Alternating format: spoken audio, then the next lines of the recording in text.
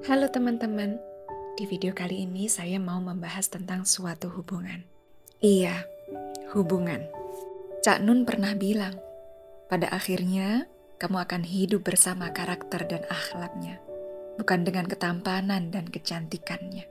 Meskipun penampilan fisik bisa menjadi daya tarik awal dalam suatu hubungan, pada akhirnya yang benar-benar menentukan kebahagiaan dan kelangsungan hubungan adalah karakter dan akhlak seseorang.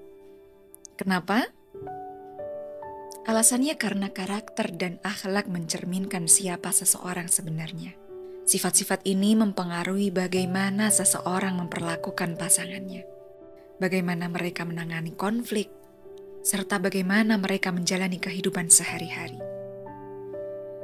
Ketampanan dan kecantikan mungkin memudar seiring waktu, tetapi karakter yang baik akan terus memancarkan kebaikan dan mendukung hubungan yang kuat dan harmonis.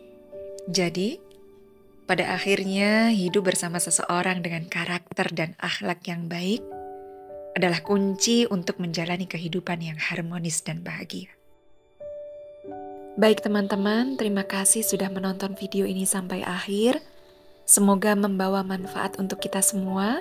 Salam sehat dan bahagia selalu. Sampai jumpa di video selanjutnya.